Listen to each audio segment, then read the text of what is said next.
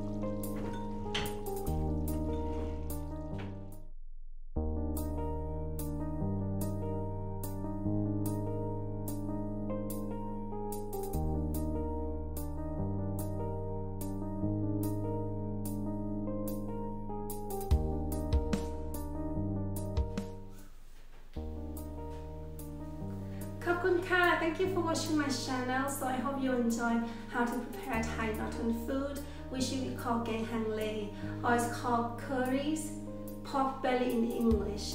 So for the full recipe for this menu, so you can visit my website at www.pitsudakitchen.com. So until the next video, so I will see you again. So don't forget to give me a thumb up, share, leave me some comments or give me subscribe so I will be appreciated. ขอบคุณค่ะ Bye for today.